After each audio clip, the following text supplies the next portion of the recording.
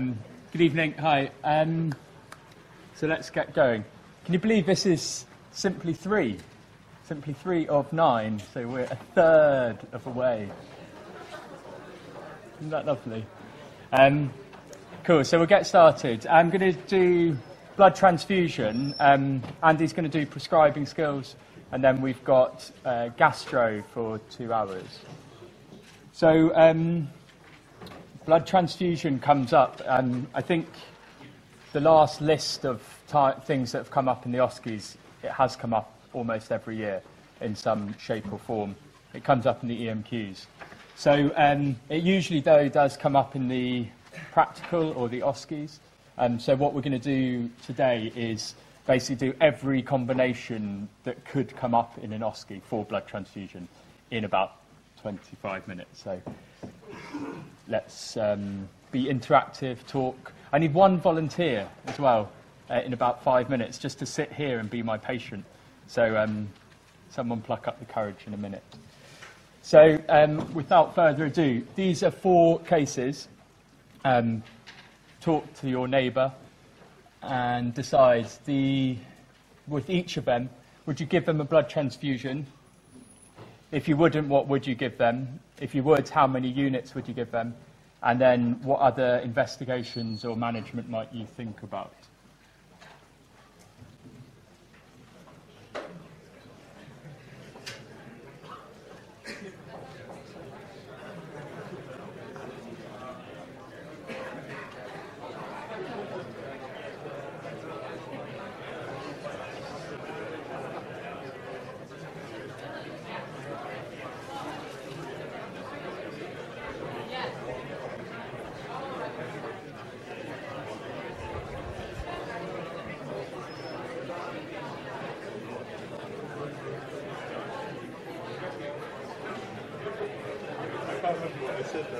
Remember it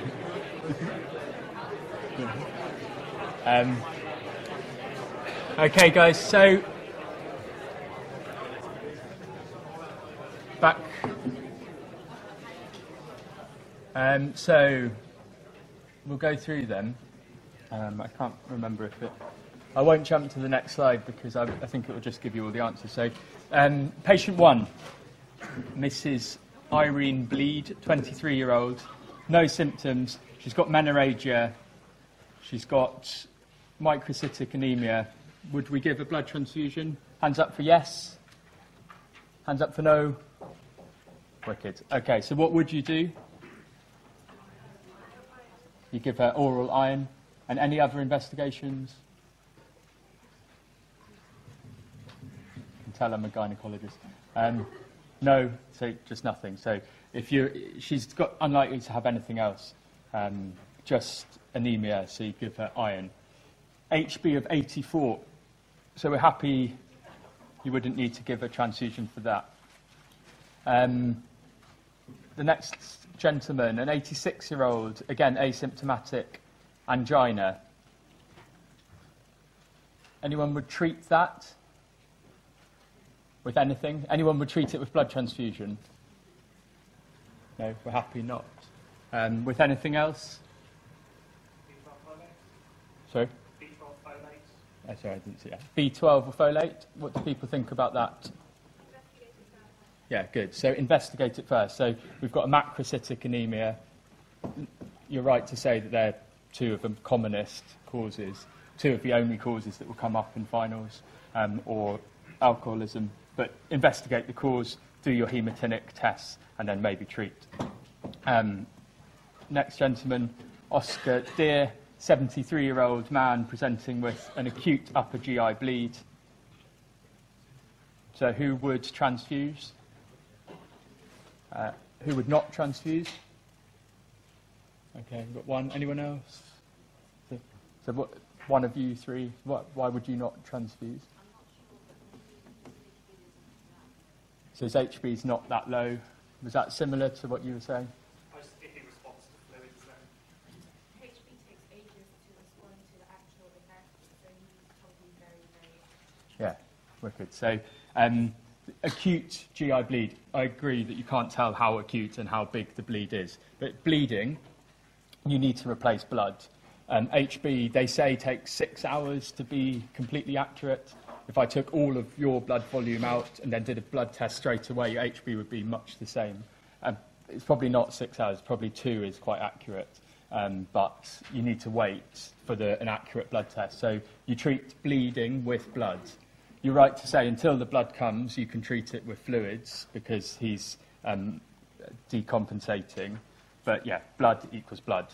And then Mrs. A. Smith, a 35 year old post cesarean section, lost two litres yesterday, and you're seeing her the next day.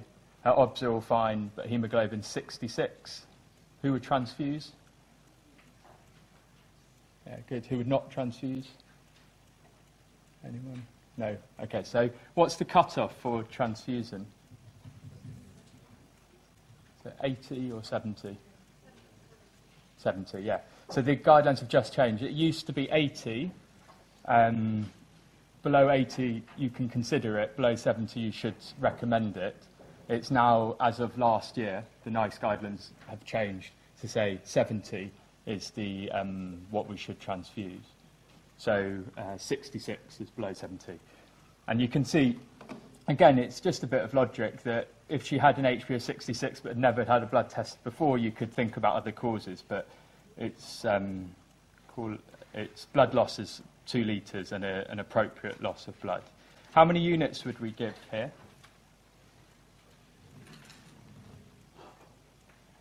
HB of 66. Hands up for one. Hands up for two. Hands up for three. Yeah, so more have said two. So again, I don't think they'll ask this in the final in finals because of the recent changes. So last year's NICE guidance says one. So it's called restrictive because we're giving too much blood to people and it, we're at a shortage of blood. And most people can compensate so it's one unit, and your target, so what you're trying to give, get them to, is above 70 as well. So it's like a car engine. It's all empty. You're just going to get it to half full. They'll feel a bit better, and then treat the rest with iron. Um, whereas before, the, your other answers would have been more appropriate, where you just decide to fill them to the top. But so one. But I, think either answers. I mean, you see in hospital most would give two because most don't follow NICE guidance. But so I don't think they'll ask that, but just an interesting. So, like you said, um, I think you're all happy with these. Okay, good. So we touched on these. Um, it depends on the case. Acute anemia is the commonest cause. Um, replace losses if it's perioperative or if they're bleeding, so replace it with blood uh, treat with symptoms, and HB of 7, I keep saying 7, so 70 um, is what we should, and consider the alternatives. So we would give packed red cells is what we give. We don't give whole blood because it's better, more valuable to use the components. And you were right to consider that about one unit goes, it brings it up about 10 or 15. So 60 or 70, you could think two or three units um, would be appropriate to bring it back up to 10 but that's less relevant now of NICE guidance. Platelets, again, only if they're bleeding and if you're worried that they've lost platelets, um, or if they're very, um, have very low platelets, then you consider it. And one unit would bring it up about 20 in the platelets. Um, FFP only in, if there's acute bleeding or you're considering or worried about DIC and then whole blood. So this is a standard OSCE. So this is your OSCE table. So you walk into OSCE, and this will be here. Um, I had it in mine. I'm sure Andy did. Oh yeah, so it's Mrs. Andrew Smith because I wrote it, um, and being an obstetrician, I only can think of one operation. So it was a cesarean section, and I thought Mrs. Smith, and then I thought I'd make it Andy, and instead of changing the operation, I changed his gender. Um, a bit one-tracked. So that's why it's Mrs. Andy Smith. Um, so yeah, work with me here because we're going to have to just move around a bit. So we've all agreed that Mrs. Andy Smith needs a blood transfusion. We've all agreed on that. So we now need to do the OSCE. So we need to counsel Andy. So I need a patient. Andy's going to record So it can't be Andy. So can anyone just please sit here? Uh, do you want to sit here? Caught, caught my eye. Um, cool. So, what would you tell Andy? Hi, Andy. Nice to meet you. Um, what would we tell Andy? He needs a blood transfusion. Explain why. Good. Okay, so risks and benefits. So benefits, that's kind of in why. So he's lost blood, we need to bring it back up. Um, what other benefits? What will Andy feel afterwards? If we leave him, he'll probably feel dizzy, knackered, uh, take a long time to feel better, slower recovery from his cesarean section. Um, risks? What are the risks of a blood transfusion? A reaction. So, be a bit more specific. acute hemolytic reaction or a delayed reaction or an allergic reaction. Okay. So try and say that to Andy. So he's in your OSCE. Okay, so um, Sorry to put you on the spot. uh, risks are you can have multiple reactions to the blood product. These, these can range from severe acute reactions to more delayed reactions. However, we're going to triple check the blood before giving it to you to make sure uh, that the blood we've got from the lab is the blood that we've asked for, and it's blood that matches your blood group and has not reacted uh, in the lab with the blood that we took from the lab. Okay. Would Andy say yes or no? Do, you, do I want it? Andy, do you want it? Maybe. No. No. no. so yeah, th- do you see what I mean? This is really important to practice. You all know, you could all write down the list of um, blood transfusion reactions, but then none of them are common. You all know that. They're all quite rare. About 95% of people will just go through a transfusion and just have no reaction at all. It would just be like fluids going through there. The most common reaction is just a bit of a, a maybe a, a, you might feel warm, you might feel a bit unwell, but we'll monitor you very closely. So the chances are you're going to be absolutely fine. They'll have no reaction. If you have a reaction, the most common reaction is something that we'll be able to treat simply with um, paracetamol or just by stopping the transfusion or slowing it down. And, but there are some severe reactions that I need to tell you about, and then you go into these, but just make them sound less big. Um, but yeah, so completely right on the reaction, but just practice that conversation because you can make it sound really slick, and it's not a, um, a reaction. The reactions are rare, so it's okay to sound. You can play them down a little bit, but you need to mention them. What do most patients ask? What's the risk that they're worried about? Not acute hemolytic. Yeah, infections. Um, how common are infections? Very rare. How rare? One in 10,000? Millions. Yeah, millions. So um, I can't remember off the top of my head, but it's um, HIV is like one in six million. Hepatitis is slightly more common. And um, CJD is, who knows? We'll find out. In, Ever. Three ever. Cool. We'll find out in 10 years. Um, um, what I say, yeah, risks. What else would we give to, I want to talk to Andy about? So we've said why you need it, risks. Anything else you would say, if you're going to offer any treatment, you say why you want it, the risks and the benefits, and I don't want it, can I have anything else? So is there any alternative? So if Andy doesn't want it, you could offer him alternatives, and you can say these are not what I'd recommend, but you could have um, iron tablets to replace it. So all of this is going to be um, obviously online. So um, you can give them a leaflet, always give them a leaflet. I don't think many hospitals have leaflets for blood transfusions, but in OSCEs they do. So you can say, here's a leaflet. Um, I'll come back later. I'll get a senior. All these things that you say after every, and I'll document it. I'll document the whole discussion. Um, this is a lady who got HIV. Um, she also um, found the Daily Mail, and so now everyone thinks they get HIV. They don't. So one, yeah, so one in six million for HIV. Hepatitis, one in 1.3. Um, Hep B and Hep C is even less common.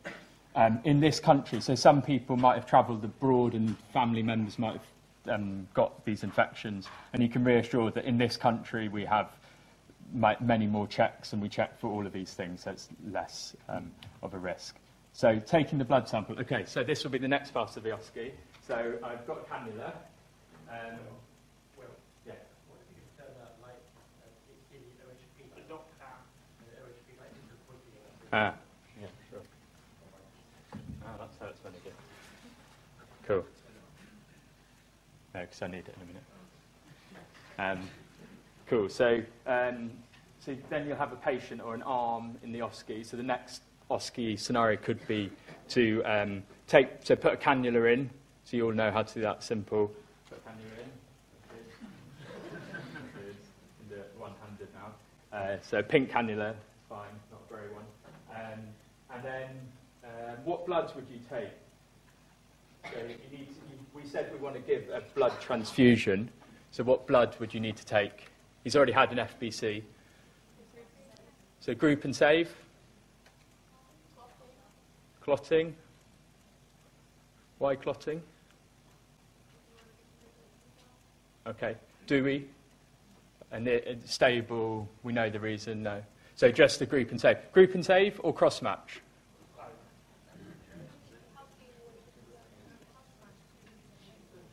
Okay, we've got murmuring. So who says cross match? So this is, remember, Mrs. Andy Smith, who's had a cesarean section yesterday. She's had a cesarean section yesterday. Stable, walking around, feeling a bit dizzy. HB of 66. Obs are all fine.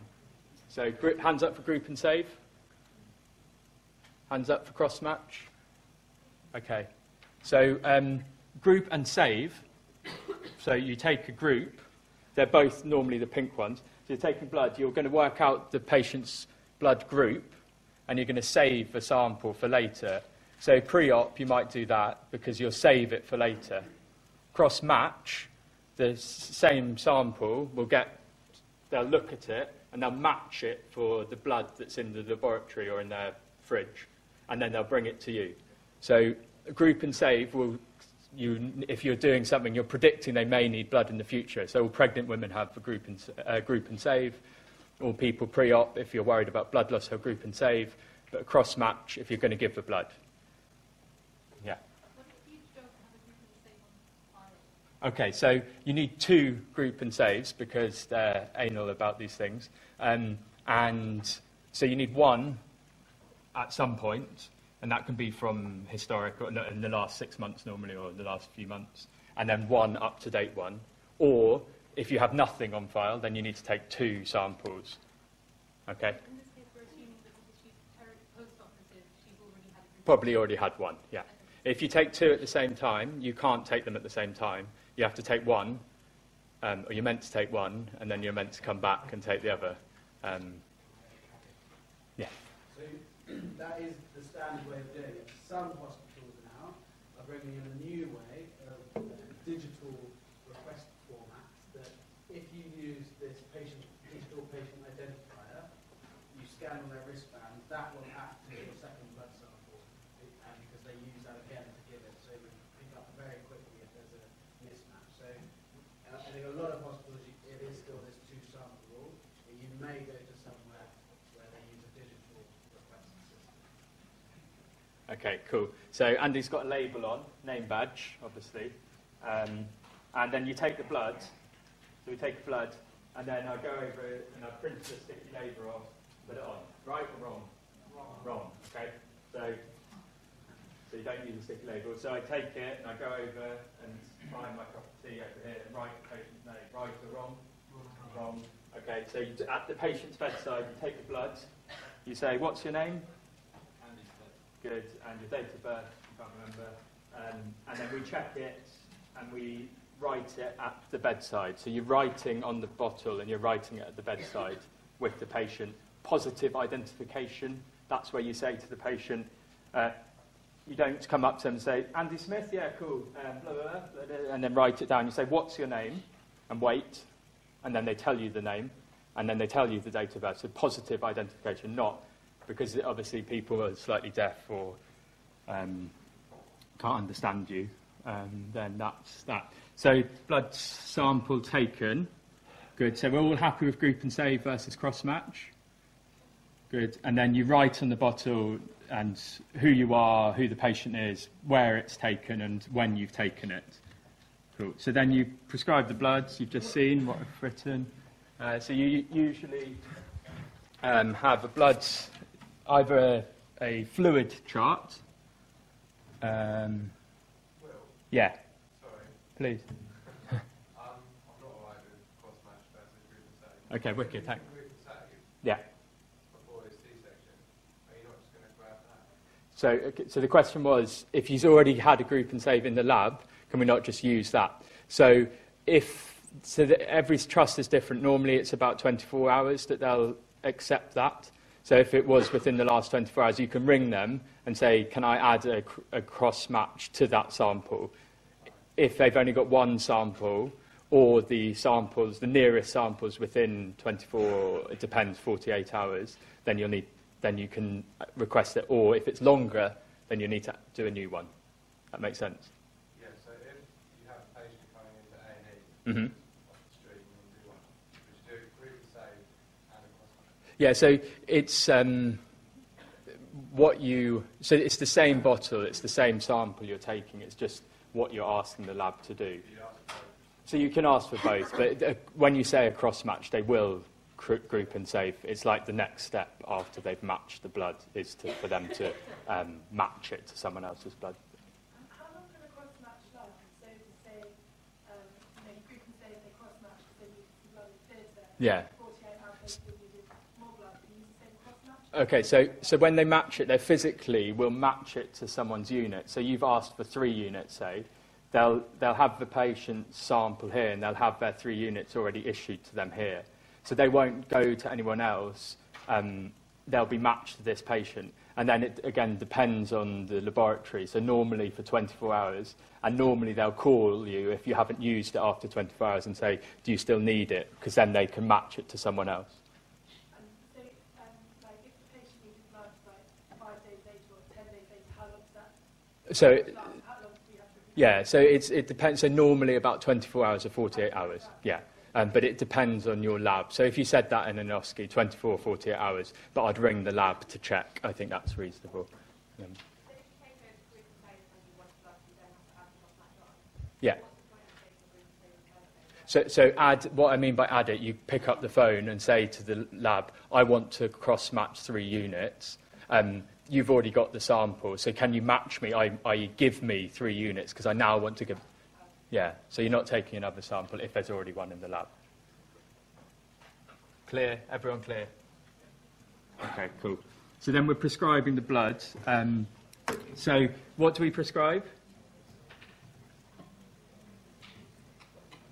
What am I writing here? Uh, you need to zoom in. What's the, um, do I write blood? Cool. So um, you need to write your, the patient's name up here and their, all their details. With Bart's Trust, do it on the wrong side, so it's not a legal document, but... Okay, um, you're obviously not adding, ever adding anything to blood. You're going to say one unit, so you, pre- you prescribe each unit separately. So if you, you never write three units here, you write it, repeat it, repeat it. How, how quickly? Three hours? Any advances? Four?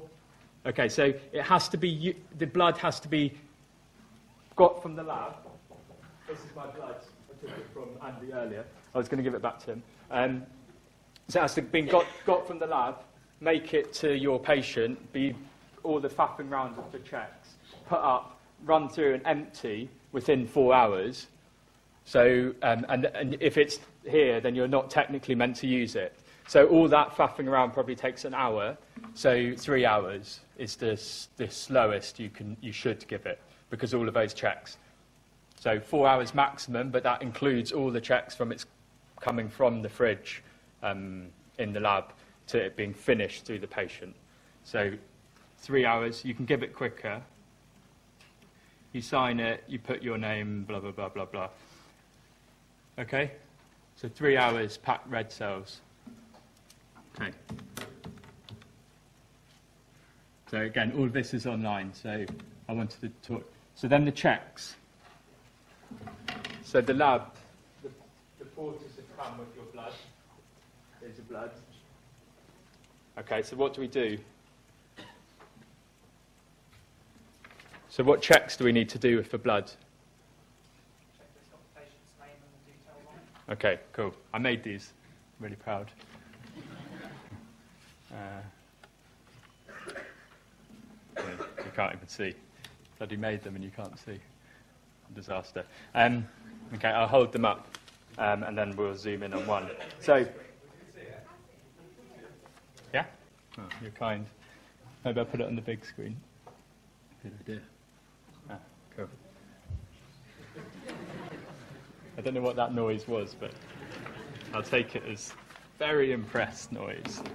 Uh, okay, so uh, you have blood that's um, red food dye, but you have blood, and then on it you have two stickers. Um, the blood that I've made, the bag is too small, um, so th- and the thing I printed is too big, but they're usually the same size, yeah. Um, and then you have this little dangly bit. What's this?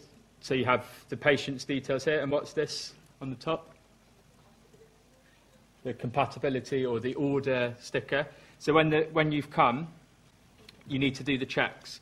So again, you get the blood bag like this. We'll do the, I'll show you the checks. You come back to Andy, and you, with someone else, a nurse, someone, uh, a nurse who's standing here, another positive ID check. Uh, what's your name? Andy. Andy, good. What's your date of birth? Cool. And then we check. So you said it, so positive check. And then we're checking it on your label with the blood. So the blood in hand, two of you are looking at his label and say, Andrew Smith, Andrew Smith, date of birth, hospital number, wicked. Okay, you're happy? Good. Okay, and then, then this, this label on the top, you've done your checks, you take it off, and then you give this back to Mr. Porter, and the porter then takes it back to the lab. So then the lab say, wicked, that blood has been accepted and has been given to the patient. That goes away. And then you've got this that you've done the check on as well. So then that's the patient's ID checked. All happy? Kind of? So two labels. One is on the blood. The second one is like the order sticker, because every blood in this country, if you donate blood, um, you, uh, your blood is tracked from person to person. So even at this last stage, they want to track which patient has received your blood. And that tracking will go all the way to the labs, to the hospitals, all around the country. And this is the final tracking so that they can say that your blood that you've kindly donated has made it into this patient here. Okay? So the ID checks are done. So then what other checks do we need to do? We need to check that the collection date is the same as what you want and it expires, oh, that, that expires on your um, finals day. it's a coincidence. Um, the only thing is I'm going to have to print these off every year. Um, and, uh, cool. And any other checks? Any other checks? We ready to give it to the patient? Yeah, wicked. So you check the blood, blood bag, okay? So you're checking, say, okay, blood, has it got any clots in it? Has it got any leaks? You probably know that before, but uh, has any leaks, any clots? Um, and has anyone tampered with it? No. Okay, so that's the final check. So you're checking the blood looks like blood and hasn't clotted. Okay, again, it's all online, so you can go back through it. And then you document on your prescription chart here, you document um, blah, blah, blah, checked by me and Mrs. Nurse, or Mr. Nurse, and then the, the number on the blood bag and the time it started, and then you will put the finish time. Okay? So that's all documented. Then you go back to the notes and write it in the notes as well. Um, okay. So, what are we doing here? Okay, so we're all happy. So then we're gonna, we've done this. Yeah. Okay, then we put up the blood. So which, um, so you've got giving sets. You've seen which giving set? This one? Anyone? No, this one. Okay, because it's got this um, filter on it for blood, but not this one. This one, 100%. If you have an OSCE, this one will be on the table, and uh, 100%, well, 50% of you will pick it up and use it and get lose a mark. And then uh, you all should, probably half of you have done this. We're going to try and do it live on TV. So you get the, you're all wearing gloves as well. You them. Cool. And there's two things. Do this this week.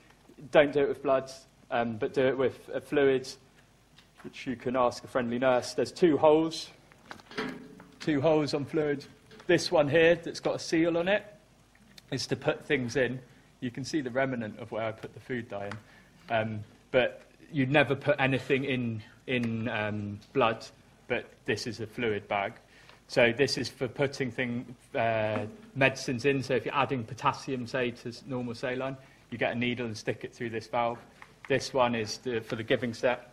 So hold it up, hold it up, put it in, like this. Um, and then two, oh God. Sorry.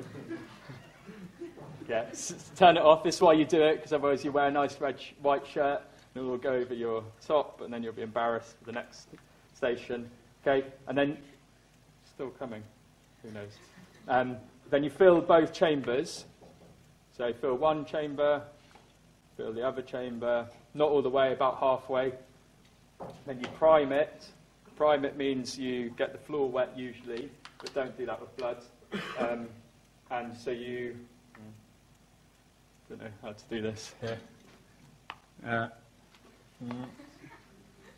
so you, yeah, that's a good idea. And so you prime it, maybe not with your, Yeah. go for the green floor. Take the end off. See, I've done this loads of times. Okay, so you prime it by getting the, the fluid to go nearly to the end. Oh, there we go, slick. Okay, so that's primed. Okay, round of applause or something. Um, thanks. Okay, so we, we need to move. Um, so primed, so practice priming fluids because that can come up in your fluid station. Um, but prime blood, then into the giving set, and into this little octopus thing, like this, which is already in the patient's cannula, like this, and then you're done. You're good to go. Okay? Then you hang it up and you set the drip rate. All know how to do a drip rate? No. Okay, so uh, come, come to my fluid lecture and we'll do drip rate. But yeah, set the drip rate or put it through like one of those little machines and go. Okay? Then you can go to the mess and have a coffee. Right or wrong? No, right. Because you tell your friendly nurse what to do and then to bleep you. Um, cool. Go, set drip rate. Document that you started it. Double lumen. Good. Okay, so when do observations need to be checked? Before? Good. Oh, yeah. Sorry. You can't see what I can see.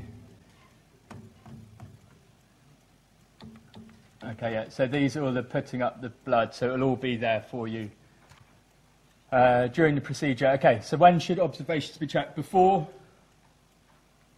Next? 15 minutes? Next? An hour? Anyone else? Okay, initially 15 minutes after hourly thereafter, and then at the end. And then additionally, if they have any symptoms, you're checking all the obs, everything. And what you say to Andy, press your little buzzer when, what, what does Andy need to tell us about?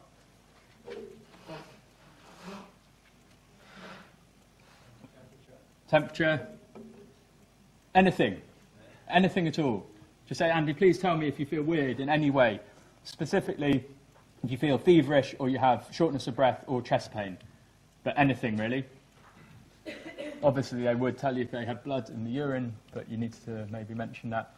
So Andy now has, I'm aware of time, um, Andy now has these, so it's baseline obs, 15 minutes in, presses the buzzer, doctor, doctor, I'm struggling to breathe. What would you do? Stop the transfusion. Next, Obs. obs, A to E. So A to E first, then obs, yeah? Um, or bring in someone else. So they're the three things you do. So A, A to E assessment, stop or consider stopping. If they're just like, oh, just feeling not that great, then you can assess them, but in most answers to stop. And then here are the re- repeats. So that she's got a wheeze, and her temperature has stayed gone 0.2 up. Is that relevant? Yes, maybe, no. Great, we'll talk about that in a minute. Um, blood pressure has gone down, 15 systolic. Relevant? Yes, definitely. Heart rate's gone up, 10. Relevant? Yeah. Saturation's gone down, 5. Relevant? Yeah. Um, when to stop. So these are what the guidelines say. I disagree. I think you just stop them if, if anything changes. If they have symptoms, you stop them and you ask someone else when to restart or to slow down. Um, I'm not comfortable doing that in blood transfusions. You guys shouldn't be comfortable in doing it. But the official line is an increase of one degree in temperature, a significant change of 10 in blood pressure, a significant rise, they don't say what, you can make your own judgment, and any symptoms. So what, which one has Andy Smith got? Sorry, before we move on. Yeah. Um, you know, I may be overcautious, but in terms of the checks with the blood, my understanding was that you did it at 5 minutes, 15 and 30, because if they were going to have an early reaction, Mhm. you wouldn't want to wait 15 minutes Yeah. and then see the reaction. I think that's very sensible, but not what the guidelines say. So I think you never get told off for doing it too often. If you're there, the one giving the blood, I want to do it more than, but the guidelines say before 15 minutes. If they have symptoms, because usually an early reaction would present with symptoms, then you do it quicker. Yeah. Um, which one's Andy having with his wheeze, dropping sats, heart rate rise? TRALI, TACO, any? Any of them, yeah. Could be anything. He's got everything. He's got some symptoms. He's had a blood transfusion. Most likely, he's having one of these. The most common is, um, oh, so he's having some chest symptoms. So TRALI and TACO. TACO's uh, circulatory overload. I've got a slide on it later. You're unlikely to get an overload within 15 minutes. TRALI is possible. Um, allergic reaction is possible, and acute hemolytic reaction would present in that similar way. But you don't know. The, the great thing about it is the management, like you said, is to stop the transfusion, do your A to E. You send the blood back to the lab because there might have been a problem. So you take it off, give it to Porter, and go back to the lab. Uh, you keep, because blood will clot, so if you leave it in a little pink cannula, it will clot. So put a little bit of fluid, slow fluid going through, and definitely, definitely, definitely call for help. And then it, for A star marks, take another set of bloods, document all the history of what the patient's feeling, and then you can think about the specifics. Okay? Any questions on. Yeah. Um, so, the reason you triple check and do like so many checks, is it because it's common that you have reactions, or just because if it happens, then it's really, really bad? The latter. It's not common, but it still happens, which is um, shit. So, yeah, that's why we do it. Um, how does this differ when you're using flying squad blood? Do- well, so you just. You, if they're using flying. When they send it with Yeah. the patient's name and stuff. Yeah, so you still do the same checks. They still check it in the labs. No Yeah. M- You may do OBS before 15 minutes if they're needing flying squad OBS. But um, no, all the checks exactly the same. They're just done in a slicker way. Uh, if they already have an octopus in their cannula, it's already done, c- do you have to take blood from the set with a needle and everything? Yeah, 100%. You can't take blood from an octopus. You can't take blood from a cannula. If anyone's told you you can, you can't. Shouldn't. You can from a central line. Sorry, even if you've just put the cannula in. Yeah, definitely not. Yeah, a new, a new, new one. Because blood's gone in. This new blood's gone in. A little bit of it has. So you'll just be taking a little sample of that. It'll be mixed. You get, you'll get a weird result, and then you'll say, "Is it because I've taken it from the blood arm?" Sorry, I mean before you give the blood transfusion, when you're taking the cross match. Oh yeah. So yeah, if you've just put the cannula in, Yeah, then obviously you can take blood from it. Sorry, yeah. After reaction, you can't. You need a new sample. Okay. Um, I'm not going to go through these, but they. I, it's really important you read. These are more for the EMQs. They're a bit boring. So, um, know your blood groups. Know which is the most common. It's a lovely EMQ question. You can see it written. Um, these are the early. These are the late. For OSCEs, for F1, it doesn't matter. You don't need to know them. You just need to know the general management. Um, and then I've just got a few slides on the specific reactions that you should just read through for EMQs, not for OSCEs. Um, have a think about Jehovah's Witnesses um, because they obviously don't want blood.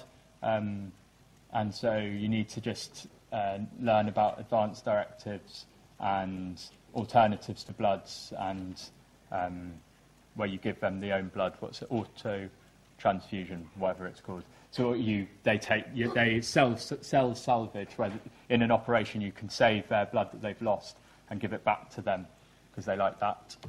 Um, so in summary, you need to know this for exams. This is why we're here. It will come up. It's easy. It's not difficult, but you need to know all the steps. Make sure you're giving the right blood to the right patient at the right time on the wards, look after them properly, and learn those managements of what happens when it goes wrong. Any questions? Anything at all? Yeah. At what point did you need two people synchronized? Was that just when you were checking? So what, when do you need two people is when you have the blood and you're checking this blood with this patient, does it all match on the label? You don't need two people to take a cannula and check those. It's only when the blood's arrived. And then signing off? Yeah. Do you want to load up? Uh, yeah. In, in OSCE, is it usually just part of that? Yeah, because I mean that's taken half an hour, just over half an hour. Um, so normally, um, I think it would be reasonable to say in a history, they might say consent this patient or talk to this patient about a transfusion. In an OSCE, they might say um, uh, set it up and it's there, and you have to go through the checks. Um, I think when I had it, it was all here. The cannula was in. It was all set up. Like it was, and you just had to do the checks and prescribe it. But just learn it all. Everything. Whole of medicine, yeah. Um, so I heard um, that you have to get qualified to prescribe blood to do Yeah, you'll be qualified in August. Okay, so just being Yeah. got Yeah, any doctor, it's nurses have to be, um, do specific training. okay. Because you're all having this teaching. Two people who are Two qualified people, so two doctors or a doctor and a comp- uh, nurse who's done the training. Okay, wicked. Round of applause for Andy.